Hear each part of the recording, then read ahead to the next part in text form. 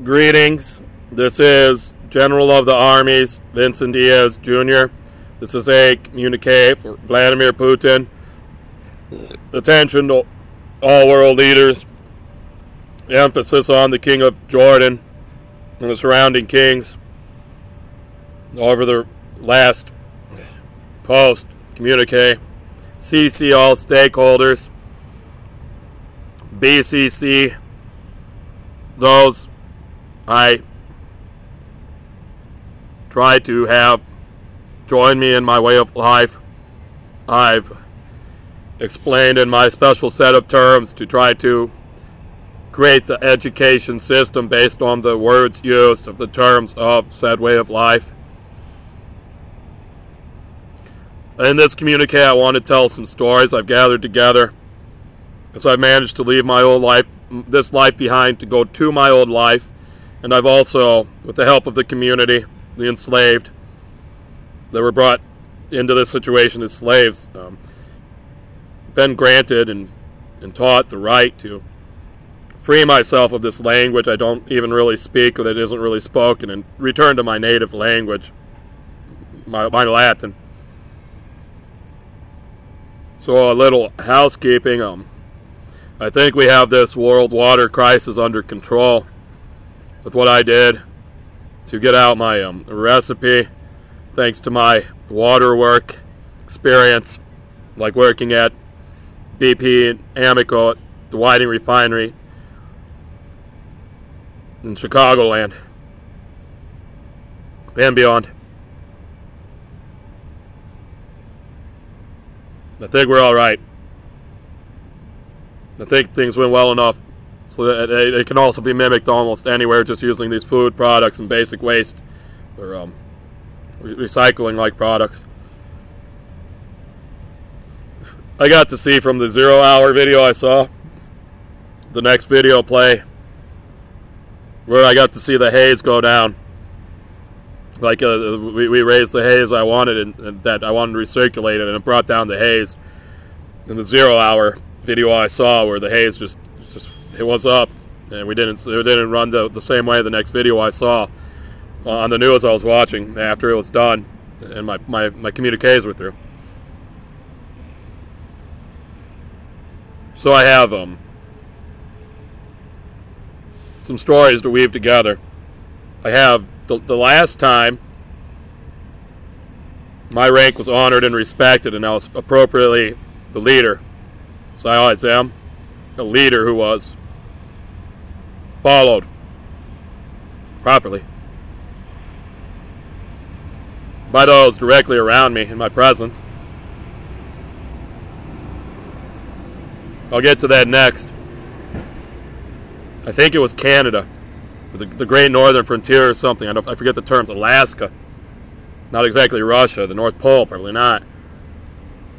I have um, my story of being struck by the nuclear weapon I don't know if I've gotten out fully. I've been working on it. The, the one major big strike. I think this is my, my story of having the wives, my, my wives.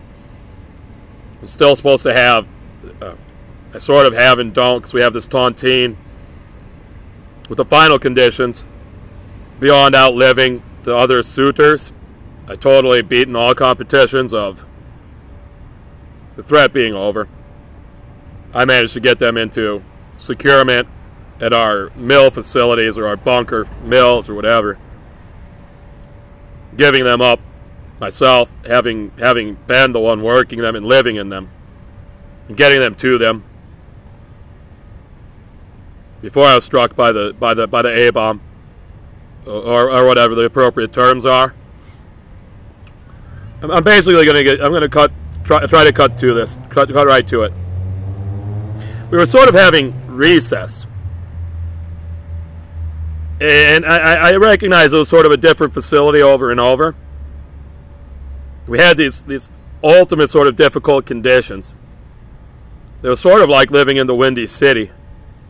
Anytime we were out there through this sequence of events where I count down to getting hit in the face with the with the weapon uh, at these facilities that were sort of the same facilities over and over, there's always this, this, this ultimate sort of high wind and huge wind vectors and a really special condition, like actually a blast shield, but like fog or haze or just just a fog of war, I might have called it. Not really being able to see out to the horizon or up to the sky most of the time. Go, going out there to just check conditions and, and try to try to try to learn and participate in sports. I being the best, perfect, always winning, totally invincible. Having this basic this basic legacy sacrificing myself for the win, but not really because I was invincible. Where, where we were working on soccer, football, I was I was basically always the goalie because I could score from the goal. I was basically as big as the box we were using, and I would always win because I just get hit in the face if I had to, to, to stop, score. I remember in class, just some talk about what the Olympics were like what a javelin really is. I had to teach them. Pulling the term from constellation terms like Aries and the um, the archer and the bow and the quiver, uh, without without being able to explain what an arrow was in constellation terms, but having a term loosely explaining what a javelin was in constellation terms, with it being needed because archery wasn't really in the Olympics right then, but the javelin throw was. Talking, I, I started talking about the javelin catch, so I was getting really tired. Some sort of refereeing or officiating in events, there's no place for you. So we were learning physics and math in basic Latin and Roman terms, universal terms. Discussing the big bombs. What it might be with the way they wanted these Looney Tunes things, like a needle tip to needle pierce the strike. So we started talking about a javelin system or javelin systems. And I, I, figured whatever the bomb was going to be with the talk about the needle pierce we had discussed, it was going to be not a needle, but it was probably going to be javelin tipped. Basically the only technology, and we were, we were there trying to teach each other like they were trying to teach me it was supposed to be some sort of sporting like type of warfare or weaponry. Working on football, football, soccer mostly, with our sports time at, at recess. I not realizing it, but we, we discussed that putting a football at the tip of a javelin would be the proof we already had. The football would be protection the guy being the one taking the football to the face had to discuss these things about, I mean, could it go on the tip of a javelin and keep you safe? Talking about your javelin catches, thinking you're not so safe if you don't get it perfect, even with your invincibility. Until it was, it was, it was, it was the day we were out there and the conditions were the harshest ever. Could barely hear anyone, like right in my face. We're out there to play the soccer one of our most pristine, intelligent females. You have to stop the goal. Our lives depend on it. We can't survive out here. I mean, I can barely hear. It's surely going to hit you in the face. There's no way it won't be a soccer ball that hits your face.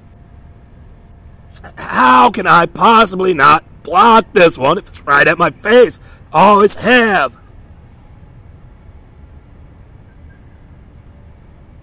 And then there it was. When I knew, I, I, I knew, uh, I, I, I, was, I was told it's, it's inbound. It wasn't sports. I, am looking around. Where, where's this thing coming from? Here it comes. I think I'm going to get my movements right.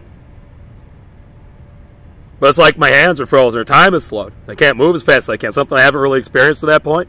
I'm trying to get my hands up. Hits me right in the face. I'm trained right on the mouth, trying to hail at me. This, this. That's right about the mark.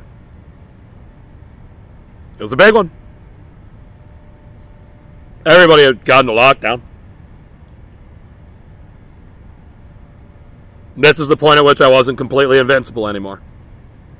I had felt stinging before. Like I'd been hit and sort of stung. I, I didn't really consider it anything proving I wasn't invincible. It was in no way damage. This one hit. It stung about normal. I thought things were about all right. With it having cleared, another another classmate or sports member was out there. He was saying something like, "Don't touch your face." I didn't know better. I touched it. Things seemed all right. I just just goes going. I was going to go through my you know like sting check and you know take take the pain off. I didn't really even consider pain being invincible. And then another check. I was nearly hare lipped, bleeding. I don't know how long it was from there until I'm basically in a house trying to recover.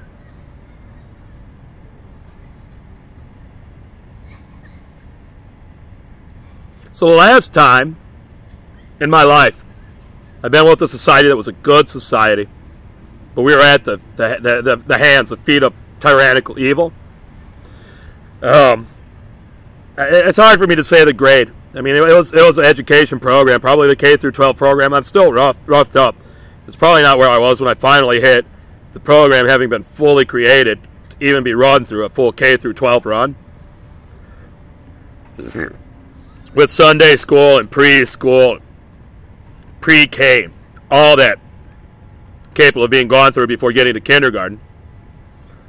But I think um, when I was finally at this final stage of getting through the full K through 12 education, I managed to get something like a Sesame Street kindergarten class.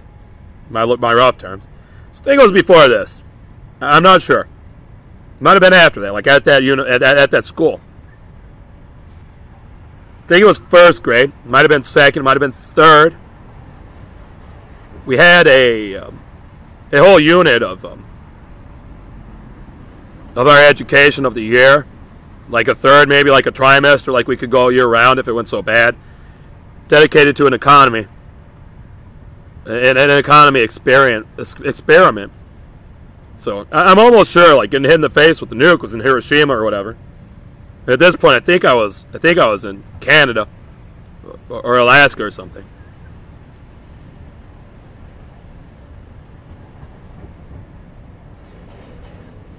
And I think we didn't even have an economy based on currency at this point, with us having this need to have to go through this because people had basically no way to understand currency in economy terms. Well, we were all bright enough to understand the mathematics and basics behind currency units and our, our units like our dollars and our quarters and our dimes and nickels and pennies and such. So this was the last time I was, I was able to be the leader, respected as the leader lead and be followed properly and perfectly by my peers and my peer group at least, with the teacher not even really being the teacher. All of us knowing it and working this over, trying to cope with it to get our education. But the, the teacher was leading the, this experiment where we all sort of got jobs, chores. Well, nobody, was, basically nobody was employed. It was sort of like Monopoly, it was sort of based on Monopoly. Like $200, like every week, with with with the with the, like the lesson or test for the week being um, paying the bills and, and, and such to get and, and getting your next money with an economy of like buying candy. Basically, all, that was going on was buying candy, and doing our work around around running our our our um our, our pay and payout and such some jobs. Everybody was mad about this one. I especially because it was my job. Like I was going to have all the jobs. Everybody was all right with me having all the jobs before we started this and had to agree to it. Everybody's still having their right to the money, and basically it was all my work there. They stripped from me so others could do it. Well, we got a hall monitor that sort of turned into our hall cop, sort of turned into a cop, but it was all this experiment. None of this was allowed outside of our experiment terms. Totally corrupt and corrupted everything. The teacher didn't even know Monopoly or how to run the bank or be the bank as Monopoly.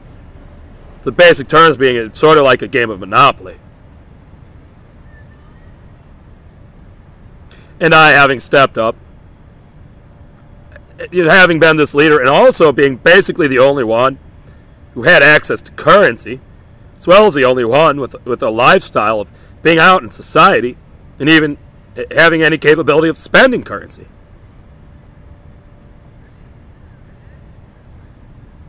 So basically, there was also this, this um, rewards and wages based system.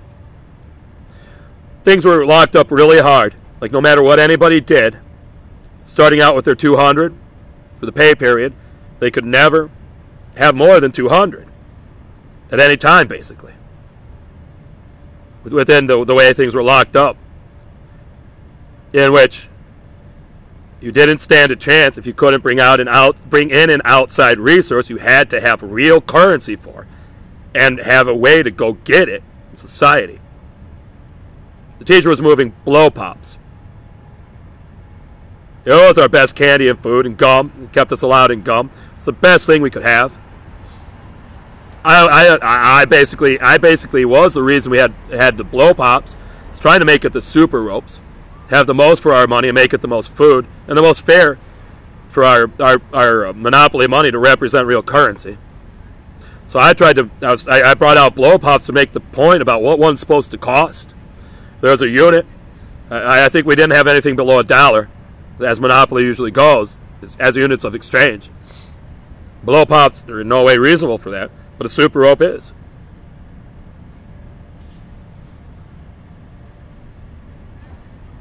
I I promised everybody because the teacher had already had this problem about having candy in the class and rules about if if you have candy, you have to have enough for everybody every time you have candy.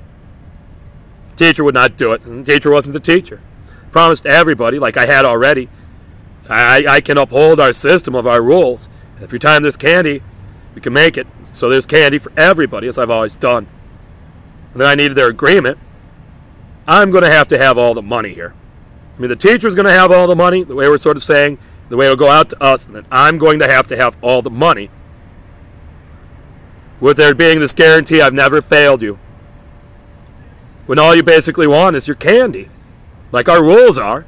The teacher's never followed. So it's this next next fight with the teacher.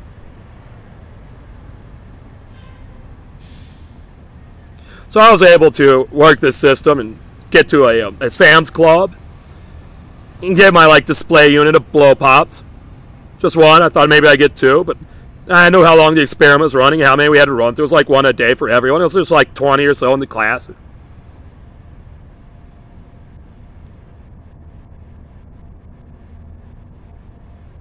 things were just terribly wrong.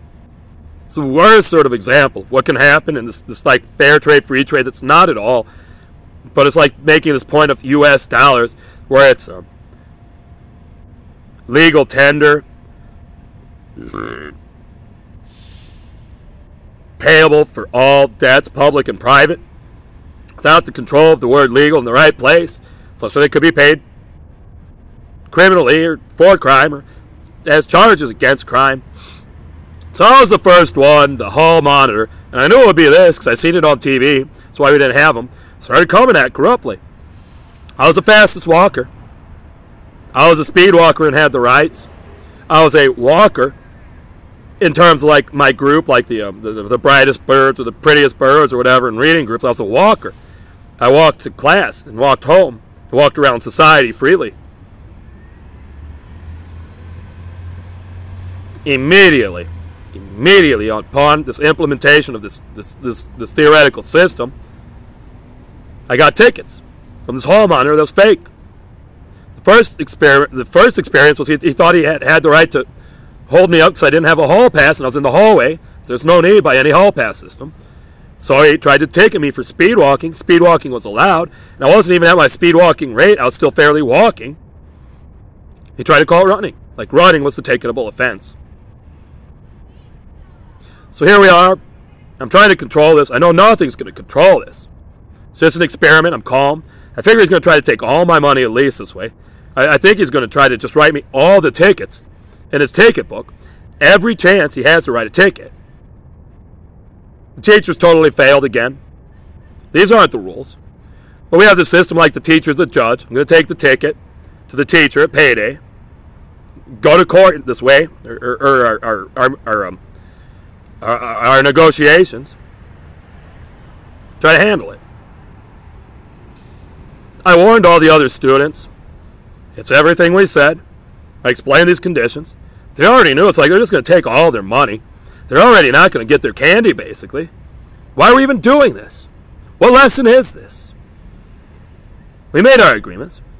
I had the money to make it through the first day. When we had to pay, I had to pay the ticket. Like, I figure I'm going to have to pay this ticket no matter what, even though it's not an appropriate ticket. There's, there's no communicating with, the, with these people that aren't even really in class here. They're not students here. They're not allowed in class here. I'm going to make it through this one. It's probably not going to be too, too tough. I think I held off. Like, I have no bills. I, I have nothing. I have nothing to use my money for except this fight with the tickets. I, I sacrificed myself the way we knew I would. I got the first ticket. We knew they were going to come at all of us with the tickets.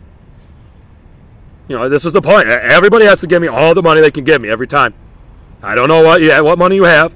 We're going to have to have our, our community discussions so we can get this money moving. So everybody, and then there's there's like getting out in the Monopoly game. Something like if you don't have the money to get through payday, you don't get money the next at the end of payday for your next round. You're sort of out of our, our experiment in our game. So this just this next guarantee, you're not going to get your food here. You're not going to get your candy. But we had that under control. I started bringing blow pops for everybody every day. At the point we had to have the, the economy start. So we had to learn what, what was going on here and how they were going to do this to us in our lives. Where we already knew. We, we were due so much money in life. Real, real deal currency money for the work we are doing in school and class. We couldn't have. There's no fooling us. I, I, I know. I was just trying to prove to them. At this point, I'm going to have to handle all the money and run my systems of monopoly, so we can make it through this, and not just and not end up on detentions, or you know, it's starting to turn out to be you know the, the time doing this experiment turns into detention time. So we didn't have detentions. It's like you're going to have to spend the whole time through these lessons with your head down on the desk if you got out.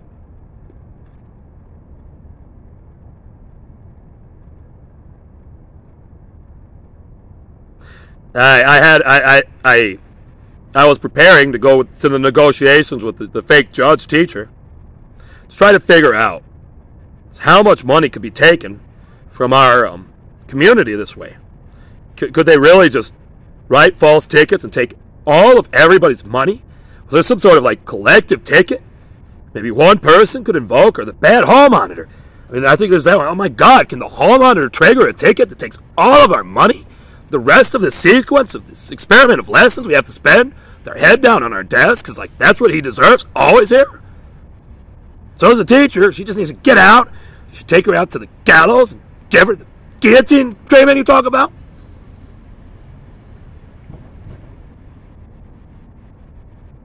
so i went i tried to negotiate I was prepared to just give and pay i tried to handle it i recited the rules i had the rules recited I had a break, so that's not what this is and stuff.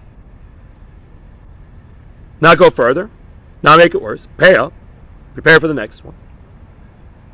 I did well at getting no further tickets, but it's turned into this series of making it impossible to survive this economy like this was a lesson. I managed to bring in some currency over the experiment. So, some of the people, the way I was getting them the candy, were getting me some currency back for it. So I managed to go ahead and uh, bring in enough currency for my real work in the marketplace to pay for the next display case blow pops from what I brought in from the first case. It's great success. I mean, I, I enjoy appropriate economics. It was totally ba- basically donation based. They have their honor.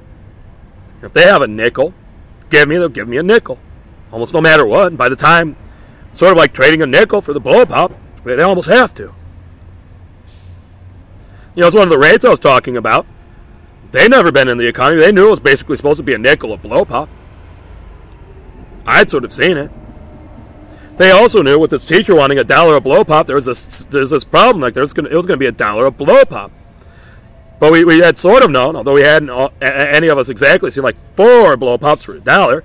They like they wanted the biggest coin that wasn't a dollar was going to be a quarter of blow pop, which I had sort of seen. They hadn't. They had never even had a quarter. Anyway, it turned into you know every time they got money, all the money came to me. The teacher didn't understand the system. I didn't teach anybody the system, so I could understand it to win because I had my I had Monopoly memorized. Like I had memorized the instructions. I can write the instructions. I am the bank. I know how to just from from memory recite the Monopoly instructions, including having to start from nothing but a recitation to rebuild the whole game of Monopoly, having paper and pencil, like a bank has to usually. So I knew where the cap was for the bank. I knew the max amount of currency. We all knew the teacher was going to cheat. We basically had the proof, like she had the non monopoly money. That was this huge problem in these things. I just kept my mouth shut. I didn't have to say much because we all knew she was going to bring in other money. I was running my monopoly system about putting money under the board. Being the bank, so, so only I could keep count, basically, after, after maybe I was having started, made sure everything was square with everyone. Started telling him this. I think this is where we started getting the term under the table, and I might have been using under the board, breaking it to like under the bar. That's what was going on. So I was able to um, actually put the entire set of the Monopoly money in our experiment under the board, so to speak. So all the money in the economy managed to flow to me. I managed to keep it all. I managed to hide it all in the special bankway. Then we all managed to just just play the teacher's game with the play money, not even the experiment. Things, things just went terribly wrong. Like any any product she moved, which she basically controlled the blow pops, it's the worst product ever that was never allowed to move in an economy. All the worst sort of stuff everyone was worried about with this candy. Like everything we've ever been scared of on Halloween, getting a candy like this happened to us. Well, I managed to do so well with my donations, I picked it up to this four pack of blow pop systems. I was able to give everybody every day four blow pops. Although most of them didn't need this after they got that many. Through some of the sequences. So finally, we're basically at the last day, the experiment. The teacher, uh, by whatever means, just decided it takes all the money in the economy to make it through to the Next payday that won't occur, it's just everybody passed. The way it's going to be impossible. She's going to take all the money in. Nobody's going to get any money back. Nobody's going to have money at the point we're supposed to have succeeded at the lesson. So she's going to take it all before we even get to have it done right. Like we paid right. She's just going to take it. It's not even going to count as paying it. So I blow this up. They all think she's going to understand. I have the money under the board hidden. Just keep raising the number so we all lose. But she can't count right. She doesn't know how much play money's gone out. We managed to set this with the right play money. Like the, the penny coin is a dollar, the nickel coin is five, the quarter coin is twenty-five dollars, the first bill is a hundred, ten's a thousand, and the hundred is a ten thousand dollar bill Teacher can't count this. Students haven't even tried to count this. I'm the only one working the currency. Teacher keeps running the number up and running the number up. Has no understanding. I forget. Did we get to a million? It's supposed to be a monopoly, so it's barely like 10,000 or something. I just, I know that's like us gambling. I get the teacher to set the number. Like, we're, we're all going to work together and have her just finally uh, get the big cash grab. Have it end it there so you can prove if we've won or not. It's all said and done. So I can just have one more currency unit left. So at least you succeed at this. I just push, you know, I push the whole pile over. Here it is. It's at least that much. Count it. System breaks. Class is almost done for. She's counted in piles what the, the, the, the number was she wanted. I might have even worked it they kept they kept breaking her down and breaking her down. Like the piles, the maximum amount of currency allowed in the system, over and over. Like her mind's gonna break it like ten piles or something. And there's like a thousand times at least as much currency in the, and the play money as they're supposed to be. She breaks. She thinks she's got us. They remind her there's other currency in the system. She doesn't even know the number anymore. Think we're going to lose? It's not much. The, the people have followed along, like they counted up their, their ticket costs. I had to handle every ticket. I took every ticket to court for them. I did all the negotiations with those. So that's, that was the, that was the, that was the duty with the currency moving, movings. So it was basically like the finally this last number was basically the maximum amount the tickets could ever take from us in one round. And it was basically like one one round of pay of everyone. Like everyone's 200. I had it all though. So how much do you have? All of it. We won. We proved all our points. I don't really know where things went from there. That was the last time I was appropriately respected in society. I got to be the leader. People followed. I. And despite our long suffering and, and the evil and the torture, we had maximum success. A perfect nature. I wish to have this again. I'm almost sure this has never, ever been anywhere near an experience I've had in the USA. So, I beseech you, oh great communist leader who can answer my hails to Satan. Like I can ring hell's bells, and then you can have Satan coming to you, hell's bells. I beseech you, President Vladimir Putin, have Satan get you, Satan get me, all of them, Satan get you too, Satan too, hell's bells. Beseech you, start the strike sequence. End this suffering here.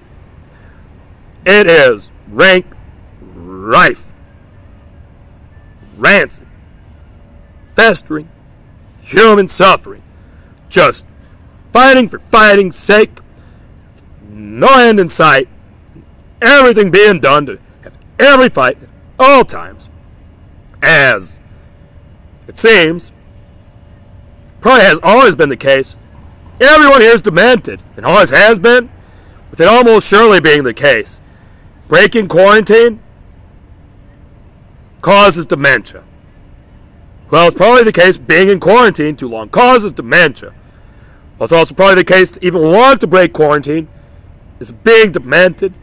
While there seems to be isolated cases, after being demented out of quarantine, getting back to quarantine or whatever, one can heal from the dementia. I beseech you. Start the strike sequence. Sarmat control this. I hail Satan.